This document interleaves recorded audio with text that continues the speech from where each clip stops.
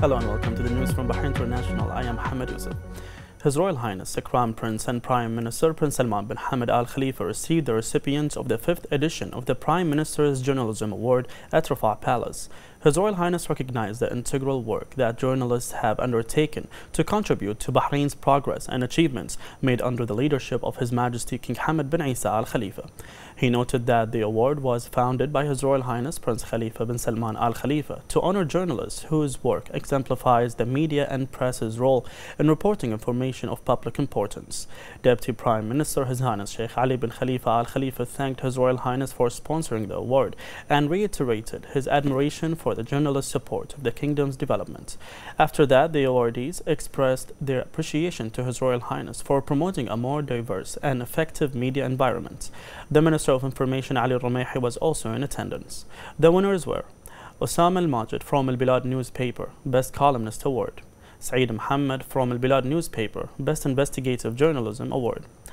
Tamam Abu Safi from Al-Ayyam newspaper, Best Interviewer Journalism Award and Sultan Al Haddad from Bahrain News Agency Best Photojournalism Award.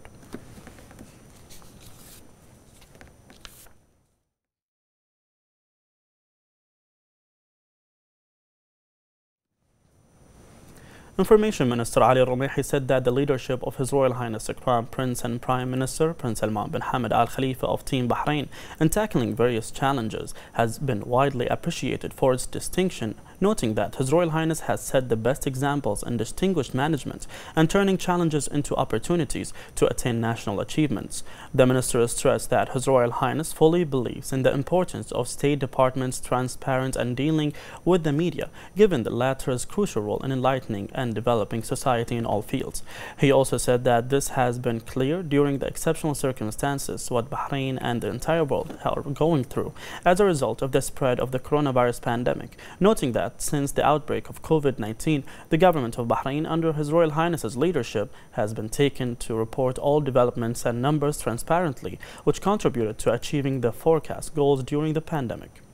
The Minister praised His Royal Highness's patronage of the 5th Prime Minister's Journalism Award and His Royal Highness's support for journalists in a way that achieves their aspirations and recognition of their responsible efforts. To build on the previous national gains, he affirmed that His Royal Highness's constant support for the press and journalists is a badge of honor for all press and media personnel in the kingdom, noting that it confirms the responsible historical role played by the national press in enlightening the public opinion and supporting the comprehensive sustainable development march in the kingdom.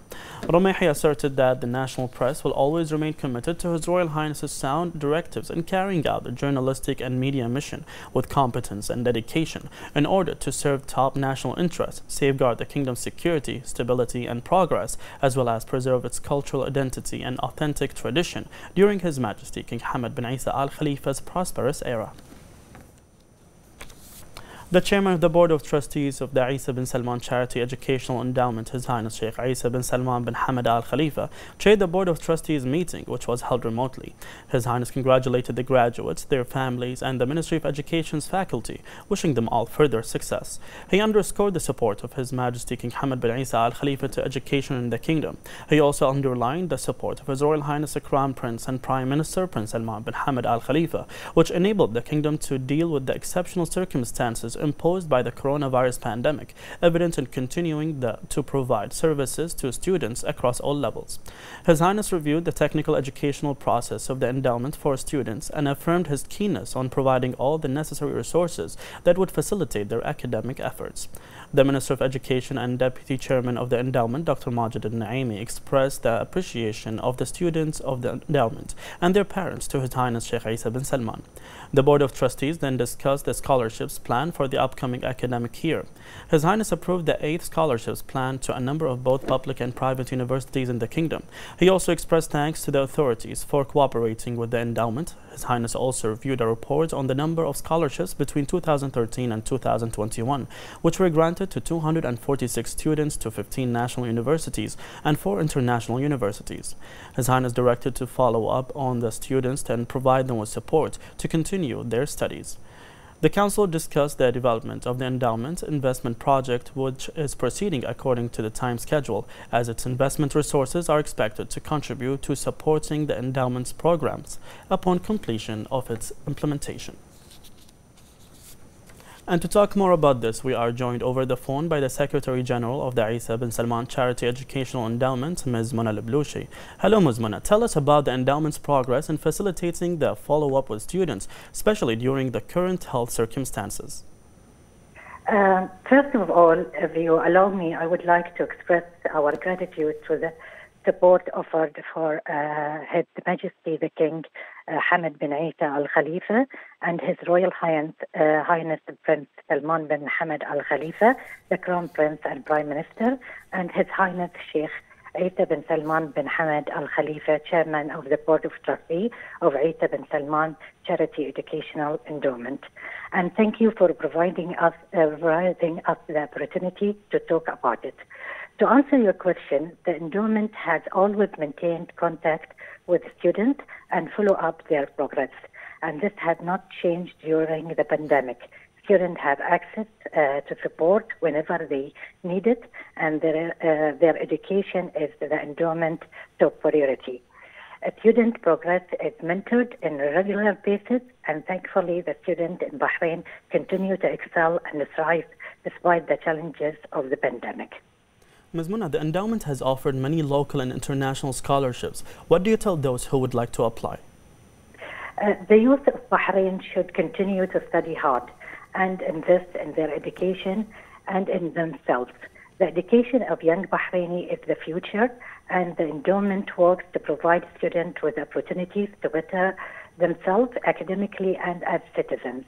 The endowment was established especially to support students who struggle financially and can't and they can't uh, continue their study uh, on their education. So we support them through the trust.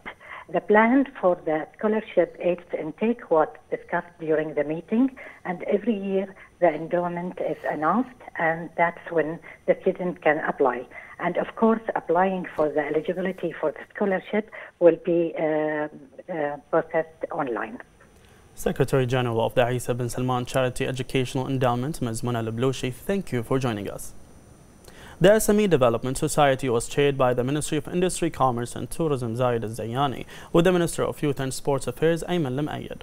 The meeting discussed the various metrics for the society's agenda with the objective of achieving 80% of it by the end of the year. The meeting praised the performance of Export Bahrain following its achievement of $100 million over two years and exporting products and services from 51 categories and 10 economic sectors and entering over 55 markets from around the world. The national vaccination campaign continues to witness a wide turnout of citizens and residents. The Ministry of Health announced that 1,079,873 had taken the first dose of the vaccine, while 1,010,882 had taken the second. The ministry renewed its call for the community to commit to all precautionary measures and take the initiative to register for the coronavirus vaccination. The Ministry of Health said today that the number of active coronavirus cases reached 1,537, with 233 recoveries, 112 registered new cases, and one death. 65 of the new registered cases are expatriates, 38 are contacts of active cases, and 9 are travel-related.